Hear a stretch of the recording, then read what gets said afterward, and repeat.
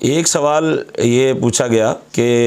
इशा के फ़र्ज़ पढ़ कर सो जाएँ और बकिया नमाज़ सुबह उठ कर तहजद के वक़्त पढ़ लें तो कोई हर्ज तो नहीं। जवाबन इसके पहले भी दो तीन मरतबा ऐसी बातों के जवाब दे चुका हूँ कि अगर तो यकीन हो कि सुबह तहजद के वक़्त उठ जाएँगे,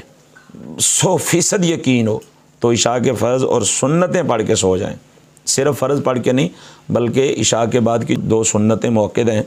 वो पढ़ के सो जाएँ और तहजद में उठकर पहले तहजद अदा करें और फिर वितर पढ़ लें। तो ये अफजल है, बल्कि नबी करीम रऊफ़ुररहीम अलैहि वसल्लम की ये सुनत मुबारक है कि आका करीम रऊफ़ुररहीम अलैहि वसल्लम ने सारी ज़िंदगी ये अपना मामूल मुबारक रखा कि आका करीम सल्ला वसल्लम नमाज़ इशा पढ़ करके आराम फरमाते और फिर सुबह तहजद के वक़्त उठते और इस तरह आप जो है वो नमाज़ तहजद अदा फरमाते और फिर नमाज़ वितर अदा फरमाते। उसकी एक वजह यह भी है कि हम पर पाँच नमाज़ें फ़र्ज़ हैं,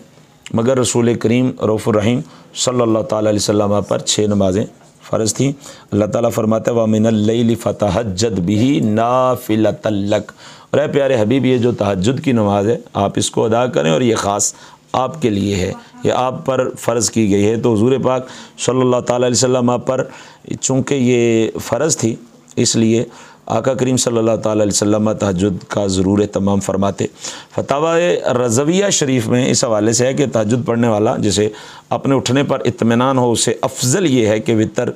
बाद तहजद पढ़े, फिर वितर के बाद नफल न पढ़े। जितने नवाफिल पढ़ना हो, वितर से पहले पढ़ ले कि वो सब क़यामुल्लैल में दाखिल होंगे और अगर सोने के बाद हैं तो तहजद में दाखिल होंगे। यानी अगर बंदा सो के उठाए